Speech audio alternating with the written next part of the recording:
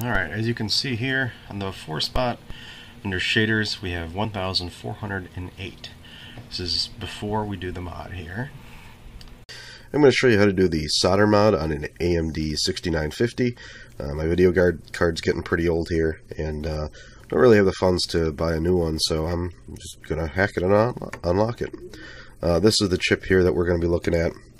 Um, my camera's too crappy to actually refocus here, but we're going to be soldering a wire from this top right pin to the second from the bottom left pin there.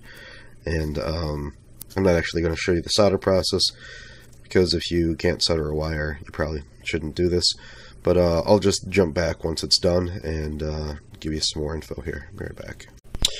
Alright, I'm back here. I got the one wire in. Uh, I cut out a piece of plastic just to make sure that wire doesn't contact any of the small components underneath it.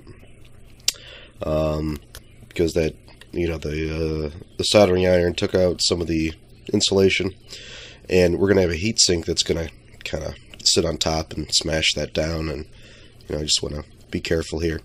So um, I'm actually using some pretty crappy flux. I can't find my good stuff, so I'm gonna go wash this off in the sink with some soap and water and then some alcohol and some soap and water and probably some alcohol again and give it a nice scrub um, just to make sure there's no flux left on there.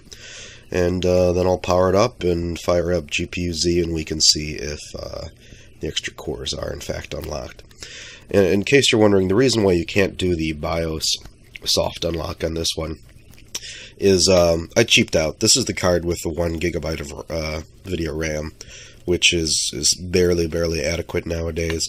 Um, usually have to turn off any of the fancy shadow stuff, which uh, I don't mind too much. But you know, I'm getting to the point where if I get a new game in the next year or two, um, you know, I, I, won't be able to turn the textures up uh, without you know two, four gigs, whatever they're moving to nowadays. Um, so, but this will, you know, should be a nice tiny performance boost for, you know, basically for free, the cost of a wire. So, uh, why not?